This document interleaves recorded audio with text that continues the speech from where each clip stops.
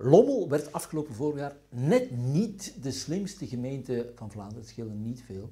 Uh, maar dat betekent niet dat ze zelf geen leuke quizzen kunnen organiseren. En de Bruut Rooster quiz is er daar zeker één van. Het is een quiz met uh, heel veel afwisselende vragen, heel veel multimedia, een kwinkslag hier en daar, altijd wel gekomen.